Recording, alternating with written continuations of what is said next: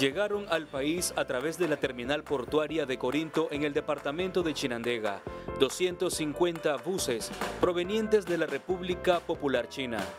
Los modernos buses llegaron este sábado 30 de septiembre y forman parte del componente de cooperación y lazos de amistad entre Nicaragua y China. Cooperación en diversas áreas del desarrollo, incluido el transporte urbano colectivo.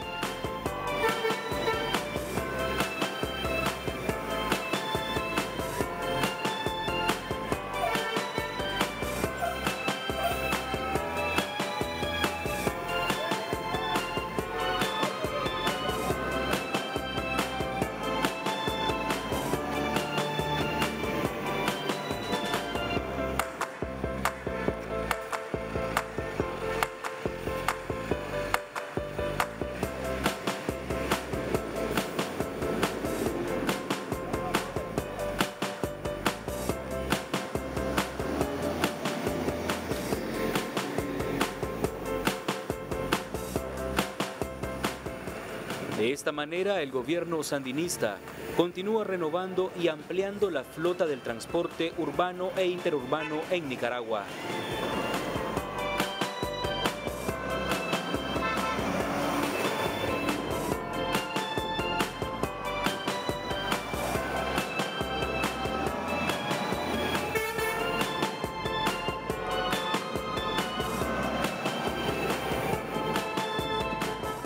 Juan Cortés, Multinoticias.